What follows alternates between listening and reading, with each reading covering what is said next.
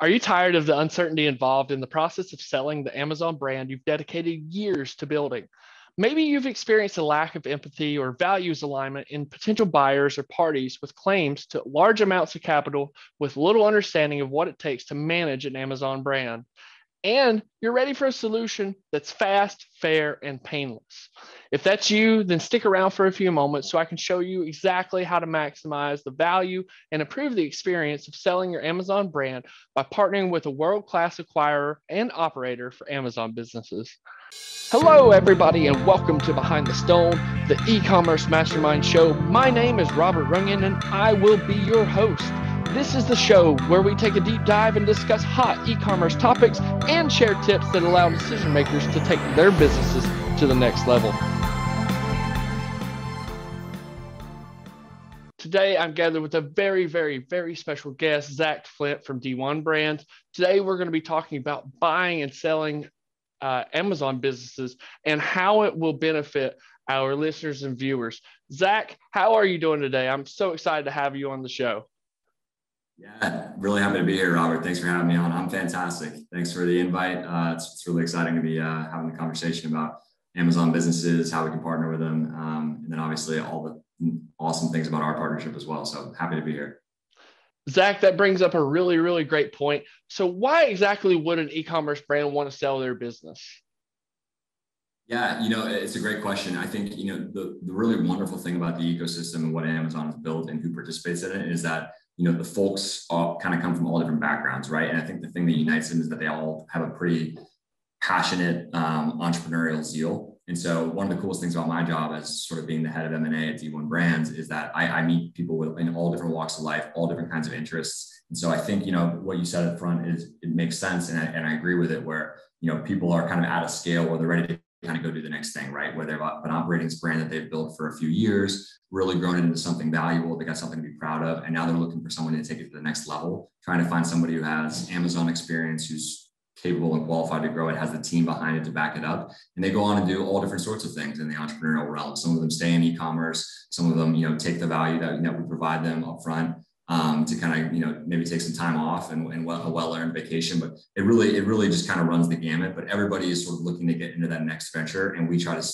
be that jumping off point because we're really excited to kind of help fund that next that next thing they're going to look to do. And so we see ourselves as almost like an accelerator of entrepreneurs in that sense plus you know taking over their their livelihood and their brand that they've built and kind of nurturing and fostering it just like we would with any of the brands that we've launched ourselves yeah, and and you know, like you actually brought up a great point there because you know there there's a lot of different business brokerages, and you know there there's differences between brokerages, acquirers, and operators themselves, right? So, which brings us right into our next point. So, what types of acquirers and Amazon operators are there? You know, can you really define the word third party seller? Yeah, so it, it's it's a great question. The, I mean, the ecosystem is sort of starting to professionalize. We're really kind of early innings, right? And so um, right now we're seeing some certain kinds of types of buyers, types of sellers take shape. On the third party side, I mean, it's really kind of what Amazon has done to sort of launch all of these different entrepreneurs within their within their marketplace. So folks that have a partnership with a supplier, they've done the product development, they've built the brands, and now they're listed on Amazon. And really, they're kind of in the game of trying to maximize for that kind of consumer demand there's um, you know it's, it's only getting more competitive right so it's being a really mm-hmm. strong operator launching product um, responding to customer feedback taking that customer feedback and going and launching better products all of that is in the is in the, the playbooks of these of these third party sellers but really they're the owners of the brands um, and then when they're ready to exit or ready to transition to the next thing they go find an acquirer um, and then that gets into your question about what different types are there. And you know, this has picked up a lot of steam. You see a, a lot of news articles about the different types of acquirers, folks raising capital.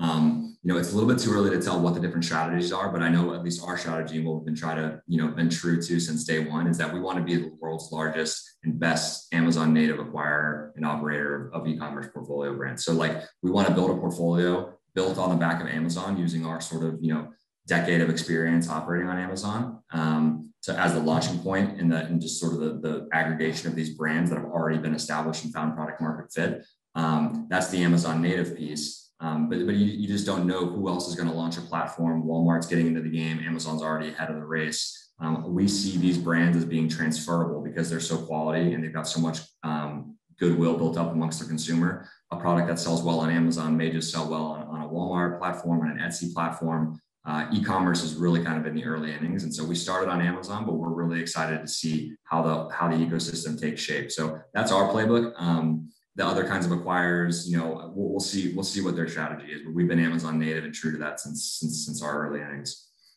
that's really cool. So what what you're telling me is that D1 Brands is really taking an omni-channel approach, right? You might buy uh, an Amazon business that's selling successfully on Amazon and then expand it to Shopify, WooCommerce, other selling platforms, right? Like Walmart, um, who, whoever the retailer is, right? Uh, because if you have a successful presence on Amazon, you sh- you should be able to leverage existing demand and sell on other platforms successfully. Correct? Yeah, that's that's the goal. You know, it's um, you know, there's different market dynamics with each of those the, those channels that you mentioned, um, mm-hmm. and certainly we're building out the building out the capabilities and the team and the technology stack to be able to attack those markets. We want to meet consumers where they're shopping and where they are. Right now, where they're shopping and where they are is on Amazon, and that's what we've kind of grown up in, and that's what we feel like that we're you know the best in the world at. Um, but there's no reason to think that you know other platforms might catch up. You mentioned D2C, the Shopify and the WooCommerces of the world. Those are a very, very particular use case. But if you can build a relationship with a customer directly, such that they're coming after your brand through your own site, we like, you know, we put a lot of different, you know, time and hire the right talent to be able to pursue that niche because a really strong brand on Amazon has the potential to kind of develop a direct customer relationship as well. So we've been exploring that for a while now. We're really excited about that possibility. But right now, the, the Amazon is, is where the action is, at least for us, and that's what we've been focused on. And there's still a lot of room to grow as that whole platform grows. Yeah, that makes a lot of sense. So, you know, let's connect the dots here, right? So, uh, how does the entire process work from, you know, acquiring uh, or from being an acquirer to an operator? How how does the process work for you know somebody that's selling their business or somebody who it wants to get out of the game right? Like how, how does that whole entire end-to-end process work working with d1 brands? Yeah i'm really happy you asked. I mean i think it's it's something that I, we've been really working hard to demystify right? Because we don't want there to be any sort of information asymmetry between buyers and sellers. We see ourselves definitely as more of a partner. Um, the process actually at, at its base is pretty simple right? So you you have a brand and you and you basically said hey look I've, I've kind of either taken this to the extent that i want to take it to um, i don't want to start hiring a huge team and, and, and you know achieving growth by managing people that used to do what i'm doing now. So i want to go find a good partner for my brand. So that's where we step in and say hey, look, in a couple of days, once you give us information about the brand, we'll look at the storefront, we'll have a conversation with you. I personally just love to hear the origin story. Everyone got into the ecosystem differently, and it's really cool to see how people saw a product or saw a gap in the market and then attacked it by, by using Amazon. So there's always a cool story there. We try to understand that really well, try to understand the seller's needs really well. After that, um, if we find a way to kind of partner with them on, on terms that, that are amenable to them, um, give them fair value for what they've created, um, give them trust in us, because I think, you know, folks want to see that their legacy continues on, right? We're not going to try to buy the brand and then put a D1 brand on it and, and now it's, it's it's wiped from the face of the earth. Like I think the sellers that we partner with are really excited to see what we do with their brand going forward. It's what they built. It's their it's their you know it's their legacy in a way. So we try to put a lot of time up front understanding that. Um, and then, you know, like it's the trust building process. And it really only takes from the time we agree on terms 30 days to get closed. Once we're closed, um, we, we begin operating the business on day one. And so we don't, you know, we like to stay in touch with the sellers and let them know how, how the business is doing, give them, give them the update on what we're trying, what we're experimenting with. But we don't ask the sellers to stay involved in the business unless they really want to. We make that available to them, but we have a team in place, 75 plus globally, who all they do is operate on Amazon. And we, again, that's our strong suit. And so after 30 days, um, you know, the, sell, the sellers typically, you know, take the, take the cash that, that they've received. Occasionally there's a, there's a piece of it that, that has to do with our, um, our performance post close um, really depends on what the seller is looking for. Um, and then they go do the next thing and we and we cheer them on and try to help with their next venture as best we can. But that's that's generally the process from end to end. And we can be more specific about any any different part of that, but that's it's a pretty simple thing at the end of the day.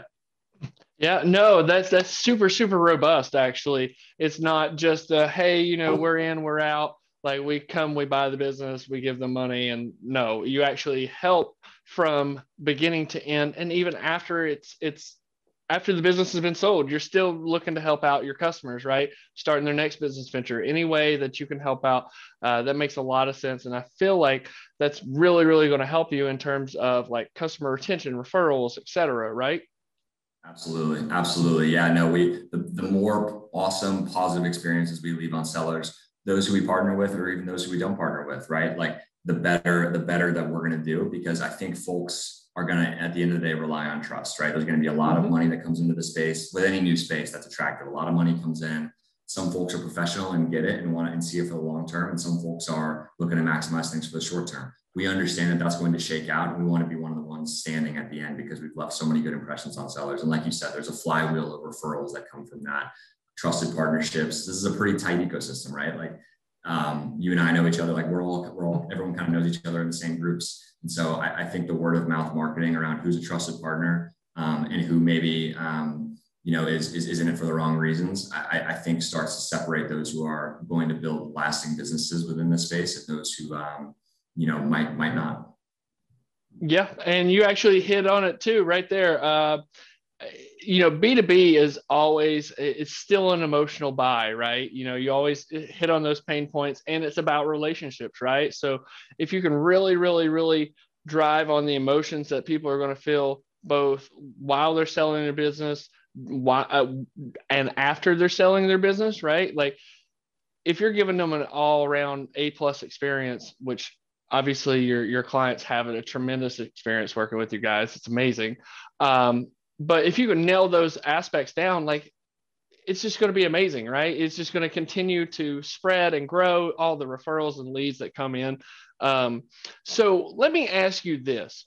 Um, how does that entire process of selling your e-commerce business or CPG brand work for the buyer and the seller? You know, there's two different parties here, uh, two different sets of processes. How does that process work? Sure. Yeah. So we can get we can get a little bit more specific here. So from the mm-hmm. seller's perspective, um, I think what I said originally still kind of stands, right? Like motivations um, can vary. I think everyone, obviously, everybody wants to get um, a good price for what they built, right? And that's and that's you know not lost on us. And so we want to make sure that everyone's getting the full value for the brand that they built. I mean, they've sunk years of their life, capital, you know, worked around the clock to make this work, and we want to recognize that by the value that we're delivering to them. So that comes at close, right? Um, and so the other things that might matter to a seller are, um, hey, I want to be involved post closing with product development, I, you know, I really like these parts of the business and I would like to continue doing that. Um, but I don't really like supply chain or marketing or customer service and things like that. So sometimes we we we structure a relationship where we're letting the seller um, manage the parts of the business that they like to manage, and then we we do the rest. Oftentimes, the seller is ready to go do their next thing. Um, but basically, you know, we'll structure the both the offer and the process around what the seller's needs are and also you know and this will get into a little bit of what the buyer would look for right and i can speak from our perspective we're looking for really durable products that have um, you know a high degree of customer loyalty as expressed through you know the review counts on amazon the quality of the rating that they have on amazon. We really look at this through an amazon lens right? But i think those same comments would apply to other e-commerce marketplaces as well. We're looking for things that are durable that customers love. And, you know, the goal for us post close would ideally be to grow the brands. I mean, we have, we've had tremendous success growing our brands post close anywhere from, you know, two to three times in the first year after, after an exit, just because we, we feel like we're, we're really strong in this channel and we understand the Amazon ecosystem really well. And that'll come through product development. That'll come through, you know, more sophistication around advertising types and campaigns. Obviously technology is a big part of this and using data. Um, so a lot of our team is structured around that. And really it's just, you know, do we find a brand that customers already love um, that we can kind of keep delivering more value to them through various different ways, whether that's new products, a new marketing angle, uh, a new place to buy by channel expansion. So those are the kinds of brands that we really look for as a buyer, things that are ripe for growth in those avenues, but really already have a strong base, base because the seller, the founder of the brand has, has just really gotten that fire burning really bright on Amazon and is ready to move on to the next thing. And we want to kind of continue, you know, adding fuel to it. Yeah, no, that may again like you are on top of this like 100% and and actually transitions us right into the next thing I was going to talk about. You know, we've talked about uh, your team of 75 plus people. You've talked about buying, selling e-commerce brands. But one thing I want to ask you is how is D1 Brands positioned uh, to help e-commerce brands grow and thrive in the marketplace? Sure. Yeah. So the you know the thing the the thing to keep in mind um, with at least how we're structured is when we're when we're kind of coming in and delivering the value that we feel like we're exceptionally qualified to deliver, it's in the context of you know either a majority or a 100% acquisition of a brand, right? So we're acquirers as well as operators. So, and that's not to say that we don't launch our own brands and things like that, but that's a, you know another strategy of our growth. So on the acquisition side, at least that's you know related to my day job and what I'm what I'm somewhat qualified to talk about is that you know when we buy a business, um, we have a, we, we put together a growth playbook. And so what we're trying to do is just say what's the nature and the DNA of this brand and where are the most actionable avenues for growth there's usually things involved in every single brand that if a single person is operating it, they just you just can't stay on top of all of it. And it's only getting more complicated on Amazon. Advertising is getting more competitive. Um, the way Amazon manages your, your performance under supply chain, particularly if you're leveraging FBA, which is what we you know we recommend and what we target in our own portfolio. Uh, there's just a lot to manage, and so there's little tweaks that if you have a large enough team with enough sophistication, enough experience on Amazon, that you can make sort of day one um, and really within the kind of the first 30 days as we get our arms around the brand once we own it. Um, and then the growth playbook after that kind of looks different depending on the brand. So what we try to do is, you know, we, we sort of mimic Amazon's hyper focus on customer experience. So we don't want to be penny wise and pound foolish when it comes to pricing, when it comes to, you know, customer service returns policy. We want to maximize customer value because that's how the platform is really set up from day one. Amazon wants to be a marketplace where customers have an ex- excellent experience where they come with a you know with a product they have in mind they search for the product. We obviously want to be the you know the product that they see that um, when they purchase it from us delights them. Um, and so that's what we're kind of looking for. And so usually the brands that we purchase kind of have that already in place. But if you know if there's work to be done that's where we structure our first couple of months um, post acquisition of getting the brand correct getting the creative correct we have a fantastic creative team that really tries to understand what the customer psychology is behind the purchasing decision which varies across our portfolio we're in, we're in you know, more than 150 subcategories. We've acquired, you know, more than a dozen brands at this point. So our, our, our reach in terms of customer psychographics is getting more and more broad. Um, so that means like, you know, we can't we can't just have a one size fits all model. We have to really understand the brand that we're buying, who we're partnering with, and then put the resources within the company um, that we have today into the right channels to be able to maximize the growth that makes sense for that brand. So that's that's that's how we approach sort of the value that we add post acquisition to to a company to a brand that we that we purchase. And, and that's perfect. You know, like working with a ton of different brands. You know, and working with a ton of different sellers, et cetera. Like, what do you see are some of the biggest fail points for these types of brands whenever they go to sell their businesses? Yeah it's um, it, you know it, it kind of harkens back to what I mentioned before, where the space is moving so fast. Um, there's a lot of capital coming into the market, at least on the acquisition side. And I think, um, and, and, also, uh, you know, the majority of the entrepreneurs and founders that I speak with, um, some of them have experience selling businesses before, and they're serial entrepreneurs, and some of them are really, really awesome product like you know operations folks. And so they don't necessarily have the context around like what questions should I be asking the acquirer? Um, and, I, and I think just like every brand isn't one size fits all, not every acquirer is one size fits all. And so one of the things recently that I, you know, we've heard is a big pain point for sellers is, you know, we thought we had a, you know, we thought we had an agreement. Um, and I was, you know, really excited to kind of realize the value for what I've created. Um, but it turns out the capital wasn't available or the diligence process post, you know, signing of the what's called an LOI, letter of intent, the agreement between the buyer and the seller um, the diligence process wasn't tight enough, so it took a really long time. We actually couldn't get there. There's nothing more exasperating than thinking that you're going to sell your business for, for a price and for terms that, that just blow you away and make you excited, and then realizing that that's not actually going to be the case. Um, so I think that's that's a big fail point for sellers is just making sure that who you partner with when they put their when they put their signature on a piece of paper and said, you know, here's what we're going to do and here's what we're going to partner with you, barring any sort of catastrophic, you know, something that happens in this, you know, in this window between that and, and when you close, which is why we try to make the window as short as possible. Um, you know, you just really want to make sure that they're going to be there for you at the end of the day, and um, and also not just at the end of the day, but also post close.